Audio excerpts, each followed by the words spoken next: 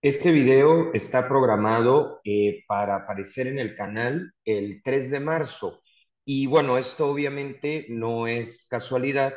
porque ese día es cuando se encuentra asignada la memoria litúrgica sobre eh, la vida y obra de la Beata Concepción Cabrera de Armida. Precisamente por eso y por el interés que en general me he ido encontrando en Internet, también en los mensajes del propio canal, correos electrónicos, etcétera, pues consideré importante, precisamente en torno al 3 de marzo, subir un video donde podamos eh, dar otro paso más al momento de conocer eh, la vida de esta mujer, que es muy interesante, muy completa y que realmente sigue sorprendiendo positivamente a todas las personas de una variedad importante de países que van entrando en contacto con su vida, con su obra, con sus escritos y que bueno, hoy realmente eh, nos da una serie de pistas importantes para, para todos los creyentes, pero de manera especial para los laicos, porque ella pues realmente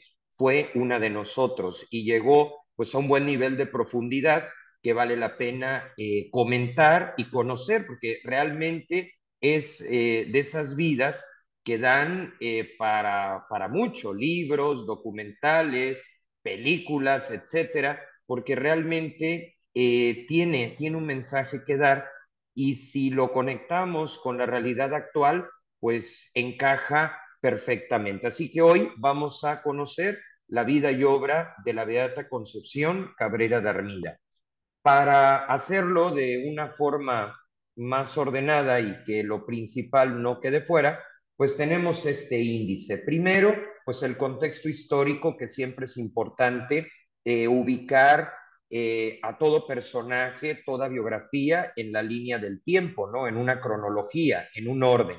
Luego vamos a conocer diferentes facetas que la hacen interesante y actual, ya que fue novia, esposa, madre, fundadora, escritora, mística, formadora y finalmente un modelo de santidad que no es otra cosa más que una referencia, un modelo de alguien que vivió la fe, que, fue capaz de ponerla en práctica en todas las áreas de su vida, desde las más sencillas, lo cotidiano, hasta en las fechas eh, clave que tenemos pues para comprender cómo se fue desarrollando su historia. En la línea del tiempo pues tenemos a la vista un resumen de las fechas más destacadas. Yo creo que si todos eh, miramos hacia atrás en nuestra propia vida, pues vamos a poder reconocer en el calendario eh, días y años que nos han resultado significativos, empezando por nuestro cumpleaños, el día en que fue nuestra primera comunión o cuando nos titulamos de la carrera o el día en que abrimos un negocio, un despacho o cuando se compró el primer coche, o sea, todos realmente tenemos fechas importantes y por eso ubicamos a Concepción Cabrera de Armida en ellas. Primero que nada, pues toda historia tiene un principio y en el caso de ella es su nacimiento que se dio el 8 de diciembre de 1862. Ella nació en la ciudad de San Luis Potosí, que es, eh, se encuentra en uno de los 32 estados que integran la República Mexicana. Eh, sus padres fueron Octaviano Cabrera Lacabex y Clara Arias Rivera. Eh, fueron buenos papás que pues la prepararon a ella para la vida, que obviamente le generaron un ambiente de fe, de crecimiento, de oportunidades para que pues pudiera ser quien fue. En total eh, tenemos que fueron dos hermanos, nos dice ella en sus escritos, ocho hombres y cuatro mujeres. Y Concepción Cabrera de Armida, que bueno, es eh, quien nos interesa principalmente, fue la número siete en esta, en esta lista. Hay que mencionar que eh, sus papás pertenecían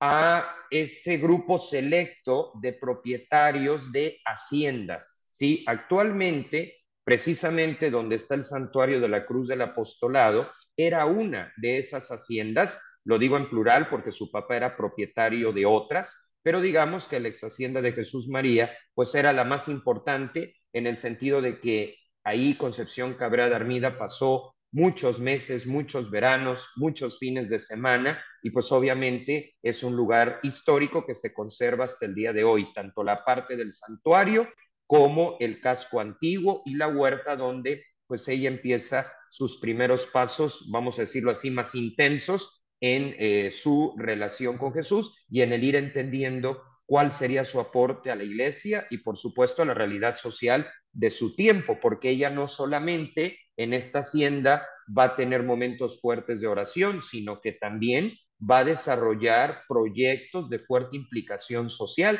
como por ejemplo enseñar a leer y escribir a los hijos de los trabajadores de la hacienda de eh, sus papás. Hay que mencionar que este sistema que de alguna manera venía del contexto europeo del feudalismo, era muy importante en la economía de los estados de la República Mexicana. Las haciendas realmente generaban esos ingresos que sostenían a los gobiernos de los estados. Por supuesto que en este tema hay varias luces y sombras, porque la calidad de vida de los trabajadores de las haciendas, pues lamentablemente dependía de eh, quién era el dueño. Si el dueño era una persona con valores, como de hecho lo fue Octaviano Cabrera, pues a los trabajadores se les proporcionaba eh, un salario justo, oportunidades de crecimiento. Pero eh, si los dueños pues eran personas sin sentido, sin valores, pues ciertamente se cometían bastantes injusticias tan fuertes que esto va a originar varios años después, en 1910, el estallido de la Revolución Mexicana. Entonces sus papás estaban dedicados eh, al mundo de las haciendas, ellos eran eh, de, fuertes raíces españolas, aunque bueno, ya Concepción Cabrera de Armida nace en México. Y en ese contexto se va desarrollando la economía familiar, eh, la importancia de la fe, también en el mundo de las haciendas, de la cuestión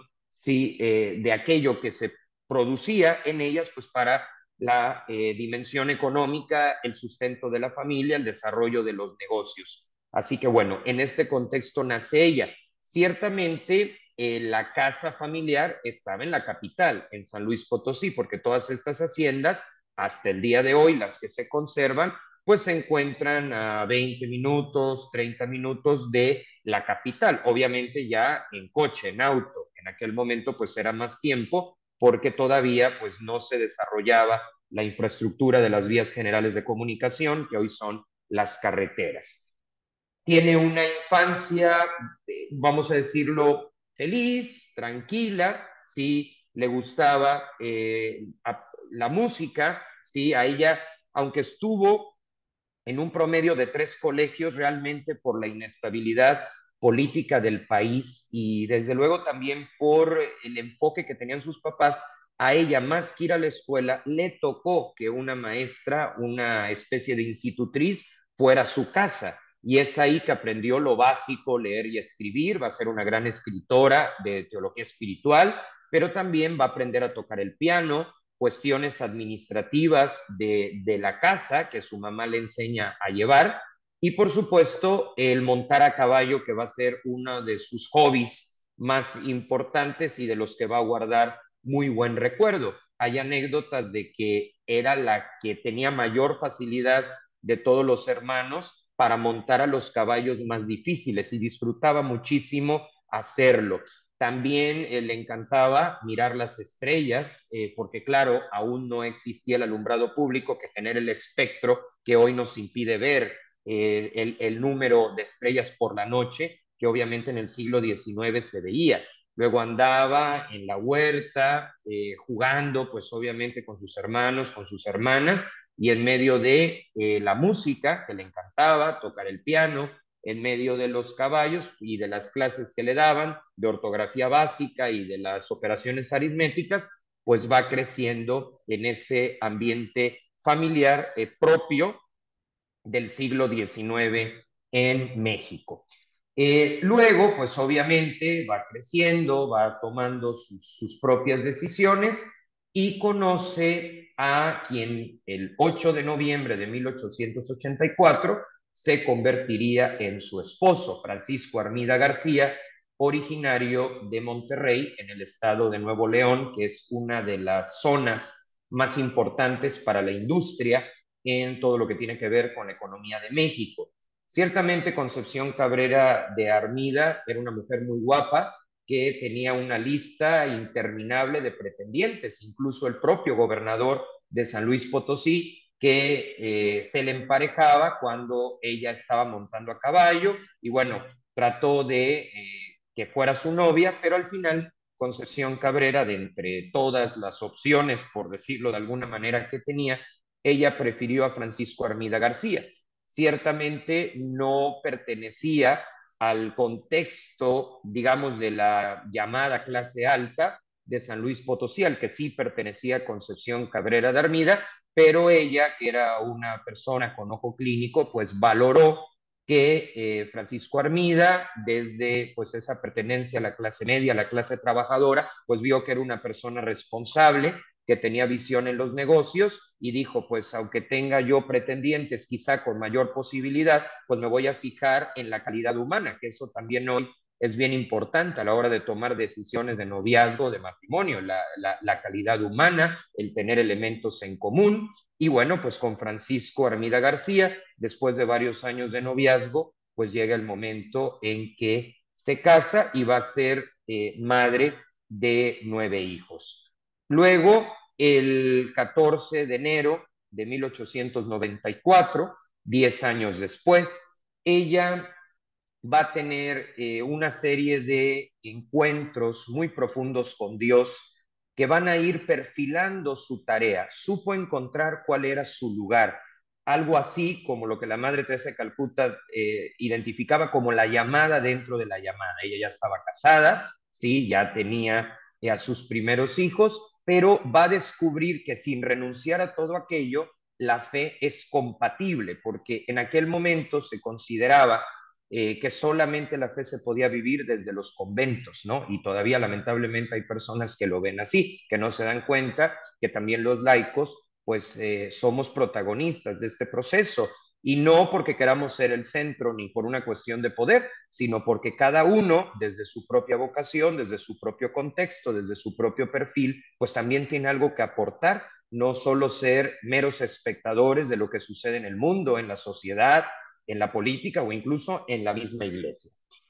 El 14 de enero de 1894 es la fecha considerada el origen histórico de las obras de la cruz y del lema o de la jaculatoria que las identifica y que fue redactado por la propia Concepción Cabrera de Armida y que dice Jesús Salvador de los hombres, sálvalos. Este nacimiento histórico de las obras de la cruz va primero en un sentido eh, espiritual que luego, unos meses después, se va a materializar ya con la fundación de la primera de estas cinco obras, que será el apostolado de la cruz. ¿Por qué se considera el 14 de enero el origen teológico de lo que va a ser este movimiento en la iglesia? Porque es la fecha en la que ella se graba en el pecho el monograma de Jesús, la JHS. Obviamente, este es un tema que eh, no fue fácil de entender y que hay que ir comprendiendo en su contexto. Ella se graba el monograma porque eh, el contexto en el que vivía le hacía ver que los animales de las haciendas eh, de sus papás llevaban grabado eh, las, digamos, iniciales del propietario, algo que pues ciertamente hoy eh, pues no, no es algo que desde luego nos alegre, porque sí es, sí es un sufrimiento fuerte. Pero bueno, así era en su momento y entonces ella dijo, bueno, eh, si estos animales llevan las iniciales de, de mi familia, yo como ser humano pues quiero llevar las iniciales de Jesús. obviamente esto eh, muchas veces es complejo de explicar y siempre hay que aclarar que fue algo propio de su experiencia mística, no algo que tengamos que reproducir nosotros, desde luego que no, porque fue, como digo, una decisión personal y que en los místicos se dan este tipo de signos o de materializaciones, por decirlo de alguna manera, de lo que ella vivía. Hoy podríamos decir una especie de tatuaje el, cómo lo hizo no es lo importante, muy rudimentario, propio del siglo XIX, pero yo lo explico así, cuántas personas hoy día pues no se ponen un tatuaje con el, el, nombre de su abuelo, de su abuela, alguna fecha que le resulta significativa. Bueno, pues a ella le resultaba significativo las iniciales del nombre de Jesús y así lo hizo y es así con esa lectura tranquila, austera, que ella pues eh, asume esta identificación con Jesús y él a su vez pues va a generar en ella una experiencia que va a ir más allá del hecho en sí para generar las obras de la cruz, que es lo verdaderamente importante. Entonces ella al principio eh, dice, pues ahora soy de Jesús, en medio de mi familia, en medio de los negocios que también se estaban dando, porque ella sabía de administración, incluso llegó, más adelante va a ser una de las, eh, de las primeras accionistas, por decirlo de alguna manera, de la empresa familiar que va a desarrollar su hijo Francisco Armida, o sea que era una mujer muy completa, lo espiritual no le impedía pues estar al tanto de lo que implica sostener económicamente a una familia. El caso es que al principio ella cree que esta identificación con Jesús, eh, bajo la faceta de Jesús sacerdote y víctima, o sea, el que se ofrece a sí mismo en favor de otros, ese es el acento de la fisonomía de Jesús que ella reproduce, eh, al principio creyó que era solo para ella, no algo de tipo personal, como lo fue el monograma, y que pues mientras ella fuera fiel a eso que la había llenado, que le había dado contenido y significado a su vida, ahí quedaba. Pero poco a poco se fue dando cuenta que lo que ella había experimentado ese 14 de enero de 1894, pues no había que privatizarlo, no había que guardárselo. Y entonces lo comunica y se da cuenta porque se pone a dar un retiro con las personas de la hacienda, que a quienes les eh, gustaba mucho escucharla, porque obviamente no hablaba de la teoría, hablaba de un Jesús profundo, de un Jesús al que ella conocía, como decía Benedicto XVI, no por una decisión ética o por una gran idea, sino por un encuentro de tipo personal. Obviamente ella no les decía nada de lo del monograma, sino el contenido del monograma, que lo importante es pues estar unidos a Jesús. Ella lo hizo desde un punto de vista material también, a nosotros obviamente no nos aplica, pero sí desde un punto de vista espiritual, llevarlo dentro, en nuestras acciones, en nuestras intenciones, en los proyectos que nos toque desarrollar en favor de otros. Al ver que esta espiritualidad, la espiritualidad de la cruz, la espiritualidad de Jesús, sacerdote y víctima, llamaba la atención y había gente que comenzaba a sumarse, pues se da cuenta, obviamente asesorada, porque esto también es importante, nunca caminó sola, siempre tuvo buenos directores espirituales en la primera etapa de la Compañía de Jesús, ya luego van a ser varios obispos mexicanos y pues lógicamente todo esto también la va a formar y nos da la certeza de que su proceso fue bien llevado, que no era una serie de ocurrencias o de ignorancia o superficialidad religiosa. Con todas estas asesorías, se da cuenta que hay otros que van a vivir este espíritu de Jesús sacerdote y víctima, este Jesús que nos salva, pues de la amargura, que nos salva de tantas cosas que no nos permiten vivir bien, que no nos permiten transformarnos y ser nuestra mejor versión. Y lo concreta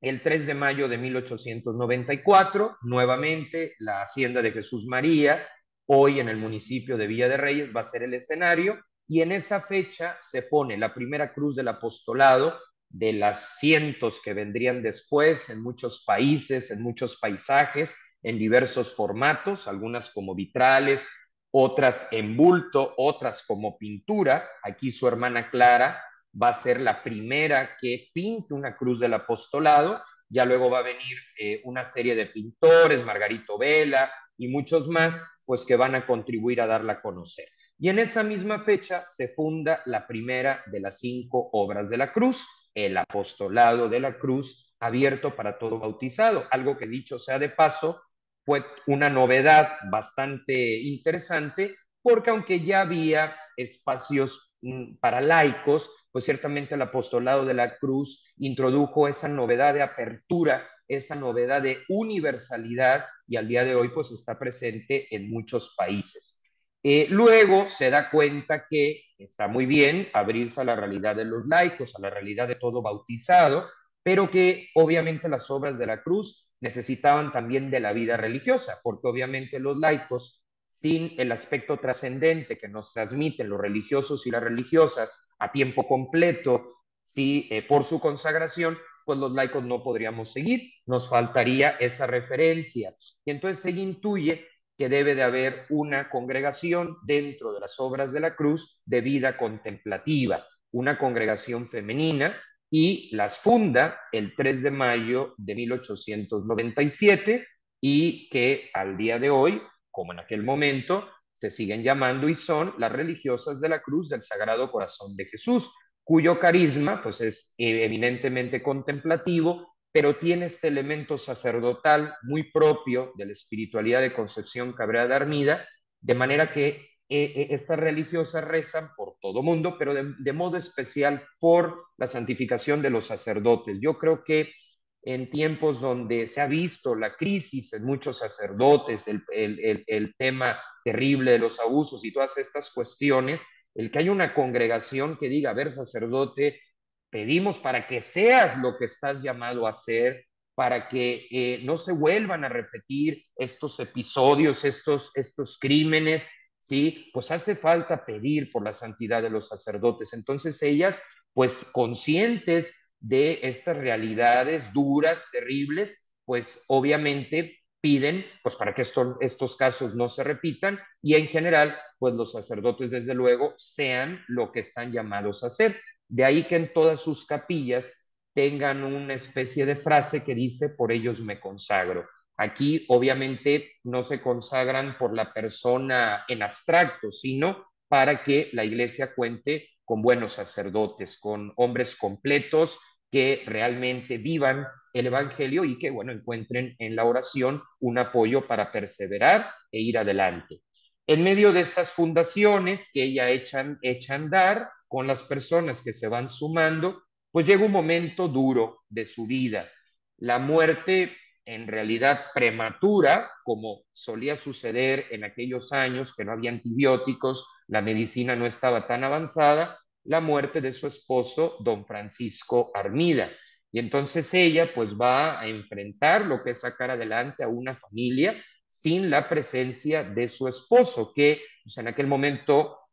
el rol social era pues el esposo y como el que llevaba el sustento económico. Entonces, Concepción Cabrera de Armida se va a poner a gestionar, a hacer producir lo que le deja Francisco Armida, también lo que había recibido de sus papás y nuevamente con la agudeza, con la inteligencia que le caracterizaba, pues va a sacar adelante a su familia. Y esto también es un ejemplo para el mundo de hoy. A veces pensamos que, que la fe nos desconecta de la realidad y que nos envuelve en un mundo color de rosa. No, ella realmente descubrió a Jesús en su familia, en su contexto, a los lugares a donde iba, porque obviamente, pues eh, esto es fundamental. Una fe que no conecta con la realidad no es fe, será otra cosa, pero no es lo que el cristianismo propone.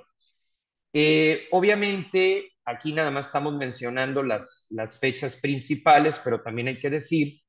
eh, que además de la muerte prematura de su esposo, pues también va a experimentar algo muy duro, la muerte de varios de sus hijos, ¿sí? Que van a morir antes que ella, eso es un dolor. El otro día escuchaba una persona que decía, es un dolor tan fuerte que ni siquiera encontramos una palabra en el diccionario que lo defina. ¿Qué fue lo que la sacó adelante? Pues eh, aceptar lo que estaba experimentando, convivir con ese dolor, pero sabiendo que por encima de él estaba Jesús que le animaba y que le daba una fuerza para seguir adelante y luchar para los que seguían con vida. Eh, realmente un ejemplo de fortaleza, de trabajo interior y bueno, pues sale adelante y también pues es un ejemplo de que no dejó de creer pese a circunstancias y a pruebas bastante fuertes. Le ayudaba, que era una mujer de un gran sentido del humor, que disfrutaba de las cosas sencillas de la vida, como una comida, como una sobremesa,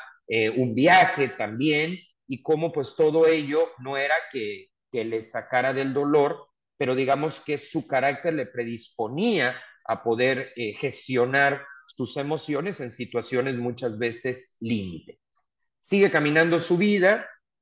Y obviamente eh, Jesús le había inspirado, como mística que era, que serían cinco obras de la cruz. A este punto solamente se llevaban fundadas dos, pero faltaban las últimas tres. Y la más complicada de realizarse era la quinta, porque ya había religiosas, pero ahora tenía que darse la rama masculina de las obras de la cruz. Y al ser ella mujer y casada, pues evidentemente ya no se podía ir a vivir al seminario. Necesitaba alguien que fuera fundador y que además un sacerdote totalmente dispuesto. Y esto surge de una forma, pues como Dios actúa, eh, sin precedentes, saltando a la propia lógica humana. Si lo hubieran planeado, seguro no sale. Y fue el encuentro que se da en la Ciudad de México, en el Colegio de Niñas, el 4 de febrero de 1903, con quien será parte importante de su equipo fundador, el venerable siervo de Dios, el padre Félix de Jesús Ruller, él era marista, pero ya había iniciado un proceso de búsqueda, de llamada dentro de la llamada, que le va a llevar a sumar a su identidad eh, mariana, ahora la espiritualidad de la cruz, y al cabo de 10 años de prueba, de discernimiento, de idas y vueltas, de permisos y demás, pues se va a volver el fundador de la quinta obra de la cruz y para Concepción Cabrera, pues será alguien que le ayude a ir madurando en su proceso, se van a ayudar mutuamente y esto pues también es un ejemplo de cooperación entre religiosos y laicos. Luego, el 30 de noviembre de 1909, en la ciudad de Puebla, sí, eh, se da la fundación de la Alianza de Amor con el Sagrado Corazón de Jesús. Este es diferente al apostolado de la cruz, porque el apostolado de la cruz para todo bautizado. ¿Sí? En cambio, la Alianza Amor es exclusivamente, sí, de los bautizados, solo los laicos, ¿no? Y las laicas y las familias. Luego, el 19 de enero de 1912, funda la Fraternidad de Cristo Sacerdote, que es para sacerdotes diocesanos, obispos, cardenales, arzobispos, que quieran vivir la espiritualidad de la cruz desde sus diócesis. Y esto pues también eh, mantiene el sentido universal de estas obras. Y finalmente, la quinta y última el 25 de diciembre de 1914, la fundación de los misioneros del Espíritu Santo junto con el padre Félix Rugger, a quien había conocido prácticamente 10 años antes en aquel encuentro que acabo de mencionar. Luego de escribir muchos libros, de que los teólogos aprobaran su espíritu, dándose cuenta pues, que era una mujer de fe y razón, que era una mujer equilibrada, pues deja las obras de la cruz consolidadas y muere el 3 de marzo de 1937. El 29 de septiembre de 1959 es la apertura canónica del proceso de beatificación en Roma y el 4 de mayo de 2019 es eh, nombrada beata por el Papa Francisco. Yo tuve la oportunidad de estar en esa ceremonia de beatificación en la Basílica de Guadalupe. Bien, eh, esta es la línea del tiempo en cuanto a la persona de Concepción Cabrera de Armida, pero obviamente, y esto lo sabemos a los que nos gusta la historia, todo personaje tiene un escenario que le rodea, que le llamamos contexto histórico. La vida de Concepción Cabrera de Armida coincide con diversos acontecimientos de la historia de México, sí, también de la historia del mundo, pero realmente, bueno, ahorita, para no alargarlo mucho, lo ubicamos a nivel nacional le toca el gobierno de Benito Juárez, quien va a ser el que eh, genere la separación de la iglesia y el Estado con las leyes de reforma. También le toca el tiempo del porfiriato, que es un momento de desarrollo industrial, tecnológico de México, obviamente con sus dificultades porque crecieron las ciudades, pero eh, con, las, con las complicaciones de una atención no completa al campo. De ahí le va a tocar la Revolución Mexicana, sí, que va a poner fin al régimen de las haciendas y entonces le va a implicar a su familia un cambio fuerte en el plan de negocios y todavía, por si todos estos cambios de paradigma no fueran pocos, le toca la guerra cristera, que es el momento donde hay un eh, estado de persecución y de violación de los derechos por parte del gobierno de México contra los, los católicos. Y claro, esto generó que algunos católicos decidieran defenderse por la vía de las armas y otros por la vía de la paz y de la oración, que fue el caso de Concepción Cabrera de, de Armida. lo que quiere decir que pues su vida pasó por diversos procesos socioeconómicos, sociopolíticos y socioculturales de cambio. Y esto lo vemos reflejado en sus escritos personales. Es muy interesante acercarnos a su vida porque como escribió mucho,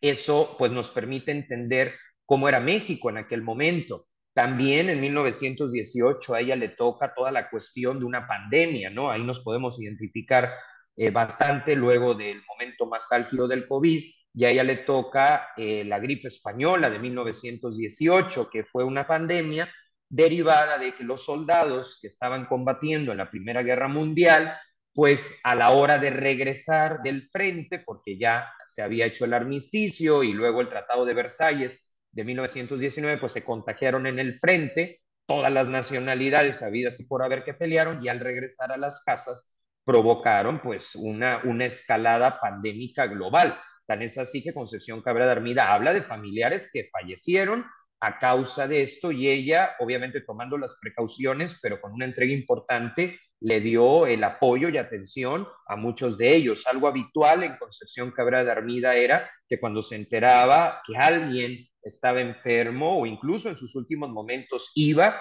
y ofrecía su tiempo, su disponibilidad y pues eh, fue una mujer en este sentido que desafiaba a las dificultades, ¿no? Pues en medio de este contexto Dios le va hablando, en medio de este contexto ella va descubriendo que la iglesia mexicana necesita volver a la raíz, fortalecer su identidad, eh, mejorar la formación de los sacerdotes, a ella se le debe mucho esta voz, ¿no? Y finalmente, pues con las cinco obras de la cruz y otras fundaciones que vendrían después y que constituirían la familia de la cruz, pues era esa forma de responder a los retos de la Iglesia en México y luego de otros países, porque obviamente este movimiento, esta espiritualidad, pues ya ha trascendido desde hace muchos años las fronteras nacionales. Bueno, eh, volviendo ahora a los acentos de lo que fue su vida, pues tenemos la faceta de novia, ya dijimos, que conoció a Francisco Armida, con el que se casó, y lo conoció en un baile, en una fiesta del Club Social La Lonja en San Luis Potosí. Y realmente es muy significativo lo que escribe en su autobiografía respecto de eh, quien fuera su novio. Dice, a mí nunca me inquietó el noviazgo en el sentido de que me impidiera ser menos de Dios. Se me hacía tan fácil juntar las dos cosas. Aquí a lo mejor, pues algunos de ustedes pueden decir, bueno, que tiene de extraño eh, que combinara la fe con ser novia. Ahorita, por supuesto, no tiene nada de extraño. Es muy natural y qué bueno, sería patológico que lo viéramos de otra manera. Pero hoy tenemos una lectura mucho más positiva del tema gracias a personas como Concepción Cabrera que abrieron camino, porque en tiempos de ella la cuestión de las relaciones, de la educación sexual, era un tabú entonces, muchas veces eh, el hecho del noviazgo se veía terrible, pero así se veía como un mal menor, o sea, como es necesario, pues que la gente se case, pero el estado ideal es el de religiosa y el de sacerdote. Y ella descubre que no, que también hay otro camino que, si bien es diferente en cuanto a la metodología, posee la misma dignidad. Por eso, de alguna manera, ella abre camino, ¿sí? Para eh, lo que luego el Concilio Vaticano II va a decir sobre los laicos, sobre el matrimonio, en un sentido totalmente positivo y abierto incluso a la santidad. Esto, repito, hoy no es ninguna novedad, pero en tiempos de Concepción Cabrera Armida era visto pues con un cierto amarillismo, con mucha ignorancia y entonces veían pecado donde no había y que ella tuviera la libertad de decir, a ver, a mí me parece que una cosa no excluye a la otra, pues es un gran paso que enriqueció a la iglesia en su visión antropológica y que la puso al día. Así que bueno, esto es lo que pues vale la pena rescatar de su faceta de novia que puede inspirar a muchas parejas hoy día. Luego, pues evidentemente siguió el proceso, se conocieron, decidieron formar una familia y contrajo matrimonio con eh, Francisco Armida en el Templo del Carmen, que es una de las iglesias más bonitas de San Luis Potosí, tuvieron a sus hijos y ella eh, anota con respecto a su boda. Yo mucho le pedí a mi Jesús que me ayudara a ser una buena esposa, que hiciera feliz al hombre que iba a darme por compañero. Me puse aquel vestido blanco lleno de azares, ¿no? Toda esta ilusión de quien está comenzando un proyecto de vida, porque si bien Concepción Cabrera enfrentó muchos, muchas dificultades, fue una mujer feliz, una mujer completa, y eso hay que resaltarlo. Es verdad que en sus escritos trató el tema siempre complicado y siempre espinoso del dolor, pero no porque le gustara sufrir, no porque fuera dolorista, sino porque el dolor forma parte de la vida y el primer paso para suavizarlo es darle un sentido. Y ella desde la fe no se quedaba en el sufrir por el sufrir, sino en decir, bueno, si paso por una dificultad, que me sirva de trampolín para crecer como persona. ¿Cuántas veces, gracias a una crisis, hemos sido capaces de descubrir, por ejemplo, habilidades que ni siquiera sabíamos que teníamos, ¿no? Entonces, en este sentido, realmente es que ella va a asumir esta cuestión existencial del, del dolor y bueno, pues que, que nos lleve a ir, a ir trabajando pues en este, en este sentido, ¿no? Bien, eso como esposa. Luego, pues, como madre de familia, ¿no? Y como cabeza de familia al momento del fallecimiento de su esposo. Hay que mencionar que de los hijos que le, sobrevivieron, pues eh, optaron por el matrimonio, pero también eh, tuvo un hijo y una hija, uno que fue jesuita y su hija eh, Concha, que va a entrar con las religiosas de la Cruz del Sagrado Corazón de Jesús, y ella les dejó en libertad tomar las decisiones. Sí les hacía ver que la vocación era la clave de la felicidad, de que había que definirse en esta vida, pues para no andar dando vueltas en círculo, pero eh, realmente es, es con esa apertura, no pensemos que ella andaba lavando cerebros o imponiendo vocaciones, no, los dejó en libertad habiéndoles dado las herramientas para que pudieran optar por alguien y por un camino que los llevara a realizarse. Hay muchas cartas que les escribí que realmente son muy humanas, muy realistas y que reflejan que era una persona muy inteligente y con mucho sentido común. No pensemos que todo el día estaba encerrada en una perspectiva de, de religiosidad. No, no, lo de ella era llevar la fe a todas las áreas de su vida, pero cuando, cuando se tenía que hablar de Dios, hablaba de Dios, y cuando se tenía que hablar de cómo estaba la comida o de los dulces que tanto le gustaban, hablaba con toda sencillez. No imaginemos a una persona rebuscadamente piadosa, eh, con un exceso de imágenes religiosas, no. Era bastante sencilla, como la vemos en la foto, con su cruz del apostolado y tan tan, ¿sí? Bien.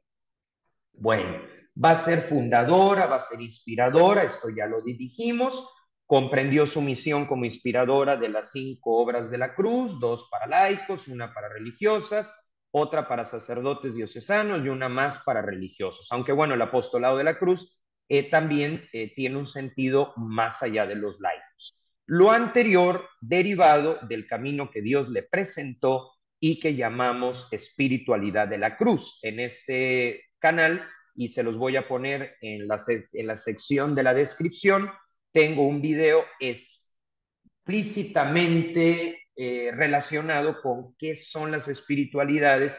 y cuál de todas ellas es la espiritualidad de la cruz. Bueno, brevemente decir cuáles son los acentos que Concepción Cabrera vivió, que recordó a la Iglesia de México y del mundo, ofrecerse como Jesús sacerdote y víctima en favor del mundo, pero ofrecer qué? Porque a veces escuchamos, no, pues solo ofrecer el dolor, no, ofrecer todo lo que somos y tenemos, tanto los buenos momentos como los malos momentos, eh, y también ofrecer nuestro trabajo, ofrecer, por ejemplo, el profesor que ante un alumno que le cuesta más el aprendizaje, la paciencia para, pues si lo, el promedio son tres preguntas y te hace ocho, pues la paciencia de las contestando. También el científico que se desvela por descubrir algún tratamiento que radica una enfermedad, el arquitecto que busca el uso de la arquitectura para comunicar a Dios, todo el trabajo que vamos haciendo tanto, los, tanto las cosas que nos agradan como las que no tanto, eso se vuelve en unión con Jesús una forma de transformar al mundo a través de la oración. El segundo punto, vivir el sacerdocio bautismal. ¿Qué significa esto? Tomarse en serio la fe, dejarla de apreciar como meros espectadores y vivirla, porque eso nos va a ayudar a ser personas completas. Y lógico, aprender a ser nuestra mejor versión, lo que implica abrirse al Espíritu Santo y al ejemplo de María, que para Concepción Cabrera y para todos nosotros, pues es la que siguió a Jesús,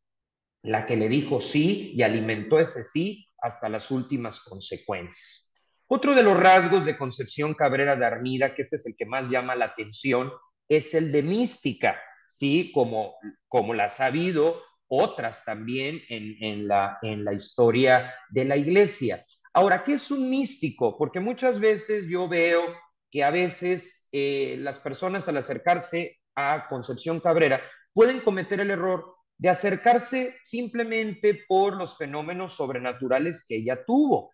Hay que reconocerlo, los místicos rompen con lo ordinario y tienen experiencias sobrenaturales, ¿no? Lo vemos en otras figuras como Santa Teresa de Ávila con la transverberación. Y está bien que nos acerquemos a esos temas porque son realidades que Dios permite de vez en cuando para inspirar nuestra fe. Sin embargo, no es lo principal ni en Santa Teresa ni en Concepción Cabrera. Lo principal es que ambas en su época vivieron la fe y ayudaron a que otros la pudieran vivir. Entonces, un místico que tiene este tipo de fenómenos es solo la consecuencia de algo mucho más importante y mucho más natural. Hay una anécdota cuando se inició el proceso de canonización de Concepción Cabrera de Armida, pues llamaron a sus hijos, a sus hijos de sangre. Y pues eh, muchas veces el entrevistador del área la causa de los santos, pues esperaba así como que respuestas extraordinarias, ¿no? De levitaciones y todo eso, que si bien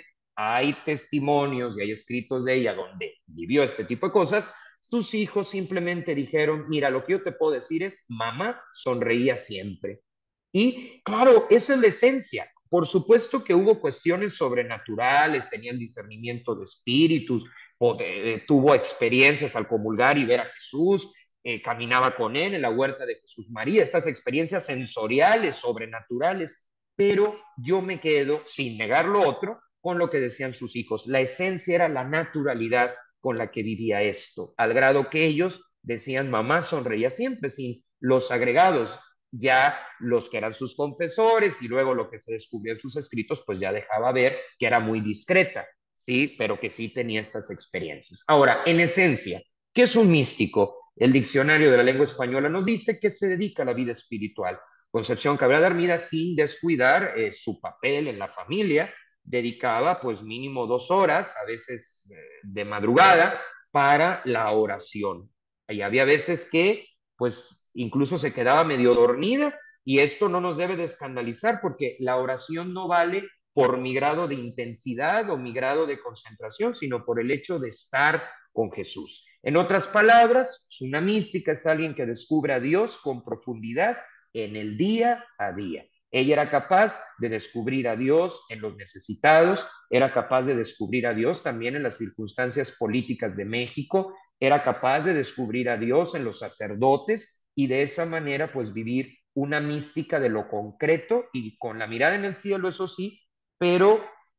eh, los, los, los pies bien puestos sobre la tierra. No era un fantasma, era una mujer de carne y hueso.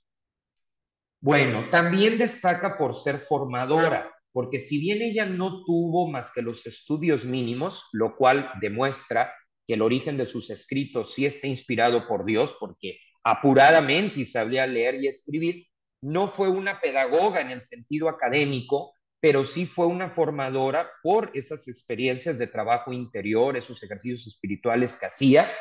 con personas muy capacitadas como un monseñor Ramón Ibarra, primer arzobispo de Puebla, o un monseñor Luis María Martínez, arzobispo primado de México, las grandes mentes de la Iglesia Católica, no solo en México, sino en Hispanoamérica. Entonces, como formadora, pues, al ser mamá, evidentemente sabía intuir a cada uno de sus hijos, a cada una de sus hijas, daba atención personalizada. ¿Y qué rasgos tenía como formadora? Pues primero buscaba que la fe fuera atractiva para sus hijos. Ella tiene un escrito que a mí me gusta mucho, donde dice, voy a procurar hacerles la fe agradable. No quiero saturarlos con rezos innecesarios. ¿Qué quiere decir? Que ella sabía cómo proponer a Jesús de una forma que la persona no se sintiera abrumada.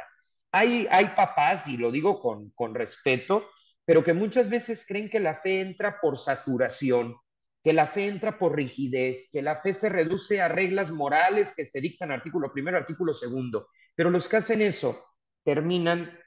con más problemas que beneficios, porque cuando a un hijo no se le enseña la libertad responsable, sino que solo se porta bien porque lo estás vigilando en exceso, obvio que hay que estar atentos, obvio que la patria potestad en el Código Civil exige que estén atentos, pero la idea no es que se porten bien porque los ves o porque les generas un ambiente de miedo, de una espiritualidad que no es la de Jesús, sino que sean capaces de que cuando tú no estés, se porten a la altura. Esa es la verdadera libertad responsable. No es andarse con rollos moralistas, viendo, viendo cosas malas en todos lados. Se trata de educarlos en la realidad, pero con capacidad de discernimiento y sin saturar. Obviamente, y acompañando a misa, cuidar de cara en la primera comunión, por supuesto, pero presentar a un Jesús atractivo y no a un aguafiestas, porque a veces el problema de la gente con Jesús no es con Jesús, sino con la forma que tenemos de presentarlo. Claro que Jesús exige, claro que los valores son importantes, pero también es amigo, también es amable, también es cercano, y eso ella lo tenía muy, muy claro, y eso es un rasgo de formadora, no era una fanática que andaba por ahí saturando a las personas con mensajes sobrenaturales a cada cinco minutos, no, vivía el Evangelio con una profundidad, con un respeto por los que más necesitaban de ella, y eso hizo que sus hijos crecieran en la fe. Se va a volver una pedagoga de la espiritualidad, por eso el valor de sus escritos, y va a contribuir a la renovación del clero diocesano de México y hoy por hoy de muchas otras partes del mundo, porque ya las obras de la cruz han trascendido. En vida de ella, por ejemplo, ya estaban llegando a Italia y ya estaban llegando a España. Hoy día ya son muchos más países donde está presente. Y bueno, otro de los rasgos propios de su vida mística, de su profundidad espiritual, va a ser su faceta como escritora. Eh, de entrada, su cuenta de conciencia, algo así como un diario donde iba reportando pues cómo le iba, ¿sí? Eh, su cuenta de conciencia son 66 tomos. Por eso, eh, de que se abre el proceso de canonización en su beatificación pasó tanto tiempo. No porque fuera una causa difícil, sino porque había que leer mucho y evaluar teológicamente cada punto. El equivalente a estos 66 tomos son 22.500 páginas. Esto supera la obra literaria de figuras como Santo Tomás de Aquino. Nada más para que nos demos una idea de esta gran mística mexicana que pues es un mensaje para todo el mundo, ¿no? Y desde luego, no solamente porque estos son sus escritos personales, pero también escribió diversos libros sí que eran publicados a través de editoriales en España, en concreto en Barcelona, que permitieron pues que también en el contexto americano y europeo se diera a conocer su obra. De los libros más importantes que ella tiene, muchos de ellos literalmente dictados por Jesús en sus momentos de oración, es el libro para mis sacerdotes en esa obra hace una crítica muy fuerte del sacerdocio, pero evidentemente respetando la doctrina. La crítica no es al sacerdocio, sino a la forma que muchos tenían de vivirlo y que no ayudaba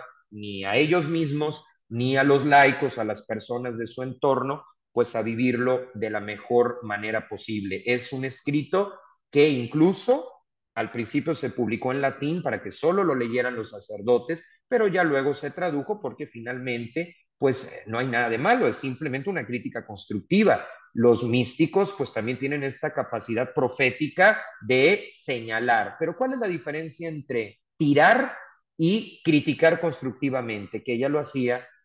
eh, desde el amor a la iglesia y siendo parte de ella, no saliéndose de ella o yendo por su cuenta o al margen o desde una falsa superioridad. Aquí de hecho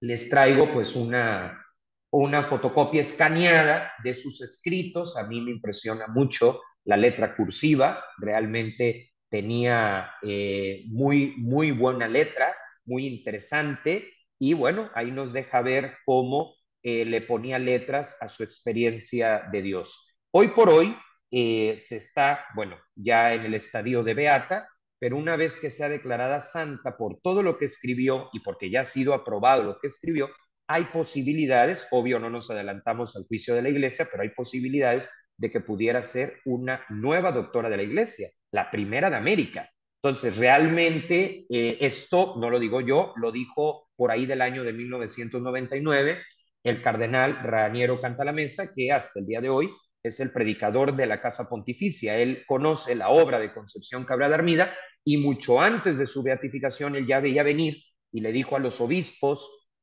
eh, de México y de otras partes de Hispanoamérica que el día de mañana, si ella es canonizada, que creemos que sí, que lo será, eh, pues valdría la pena presentar eh, al, Papa en turno los documentos porque tiene madera de doctora de la iglesia, ¿no? Como una Santa Teresa, tanto la grande como la chica, ¿sí? Como una Santa Catalina de Siena, o la mujer más recientemente en ser declarada doctora de la iglesia, Hildegarda von Bingen, ¿no? Que fue nombrada así por el Papa Benedicto XVI. Y bueno, es un modelo de santidad, pero ¿por qué? Porque inspira, ¿sí? Y me inspira a mí desde mi despacho, y me inspira a mí que no estoy en un convento, pero también inspira a los que forman parte de la vida religiosa, porque trabajó mucho en su favor, de tal manera que ella vivió la fe en tres contextos, en medio del mundo, porque le tocó hacer diversos viajes a Europa, a Asia, a Estados Unidos, le tocó vivir la fe en medio de su familia, de sus hijos, de sus nietos, de sus nietas, en su casa siempre había comidas familiares, reuniones, y pues todo esto para mantener la unidad y hacerlo con ese sentido festivo, porque quien conoce a Jesús no puede estar amargado. Y por supuesto la fe en medio de la iglesia, ella siempre se supo parte de la iglesia, todo lo que los obispos le iban indicando en la toma de decisiones, en los procesos canónicos para reconocer las obras de la cruz, ella lo siguió con mucho respeto al pie de la letra, porque se sabía parte de la iglesia y es que seguir a Jesús sin la iglesia es un poco ilógico porque termina uno buscándose a sí mismo. Dentro de esto, y ya a modo de conclusión, pues eh, en el proceso de canonización eh, fue reconocida como venerable por San Juan Pablo II en el año 1999 y como dijimos al principio de este video, fue beatificada en la Basílica de Guadalupe, Ciudad de México, el 4 de mayo de 2019. Y aquí quiero hacer tres comentarios porque, como decía yo, esto sí me tocó verlo. Soy testigo ocular, en derecho le llamamos testigo ocular, pues al que ha presenciado algo. Fui testigo de la beatificación, a eso me refiero. Y pues eh, recuerdo tres cosas que me llamaron mucho la atención ahí cuando estábamos todos en la Basílica de Guadalupe. ¿Por qué fue en la Basílica de Guadalupe? Bueno, porque recordemos que Benedicto XVI, eh, un papa bastante querido en este canal, también por mí, pues decidió que las beatificaciones fueran en la arquidiócesis donde el venerable siervo de Dios o la venerable sierva de Dios hubiera desarrollado su obra. Si bien es cierto que Concepción Cabrera eh, era de San Luis Potosí, pasó gran parte de su vida en la Ciudad de México, en la capital, justo cuando vino esta cuestión del declive de las haciendas, pues mucha gente fue a la capital, en donde hasta el día de hoy hay mayores oportunidades laborales, ¿no? Entonces eh, se decidió que fuera en la Arquidiócesis de México, porque ahí se había iniciado la fase diocesana de su proceso de canonización,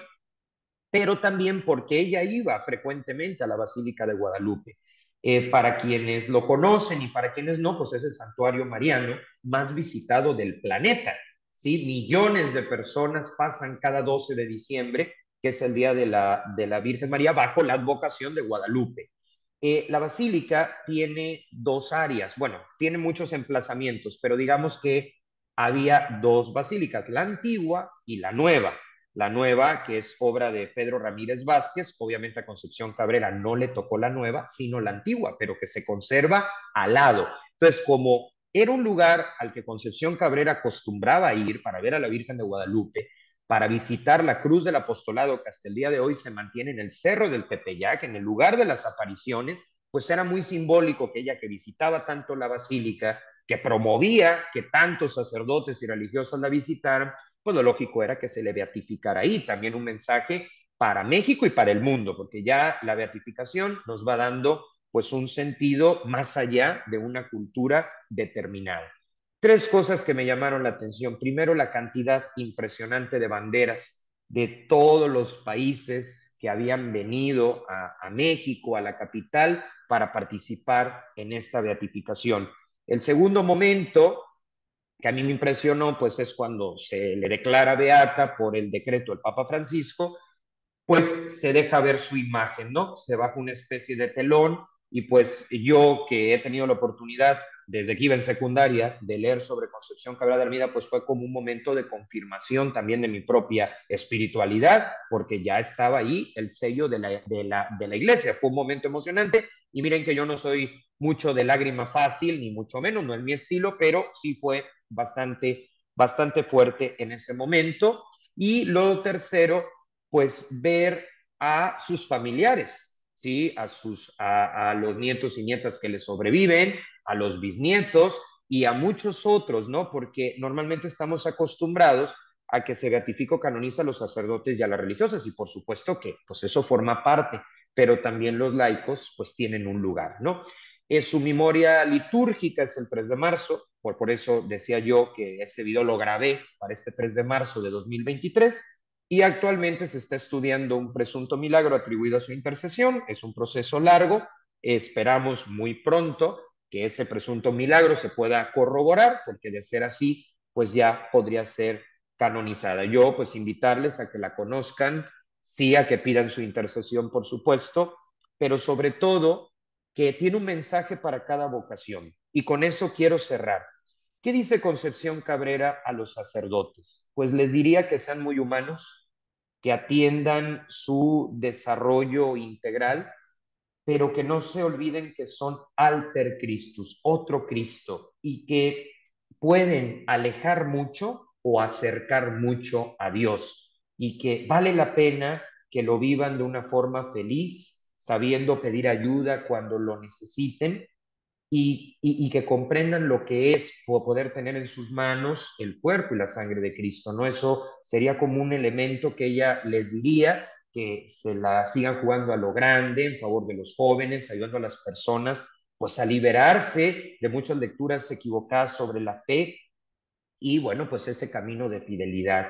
A las religiosas ella tiene por ahí una carta que dice así, si yo fuera novicia, pues ella nunca fue novicia, pero eh, hacía empatía con ellas y pues hablaba de la necesidad pues de las comunidades, tiene cartas a las religiosas de la cruz donde les enseña cómo superar, por ejemplo, los roces, los malentendidos. Digo, esto no es solo de las religiosas, también aplica a los religiosos y a los sacerdotes, pero a las religiosas también les diría que sean muy humanas, sí, que puedan dialogar con sus superioras, con sus compañeras y que descubran en Jesús la clave de su vida y que todo el compromiso social, educativo, hospitalario, si están en la salud, lo lean desde ahí. Ya los laicos, que podemos estar en medio del trabajo, que podemos estar en medio del ir y venir al banco, del ir y venir a nuestra casa y no por ello perder la presencia de Dios. Entonces, todo esto es lo que ella nos enseña con la espiritualidad de la cruz y sobre todo romper el mito según el cual,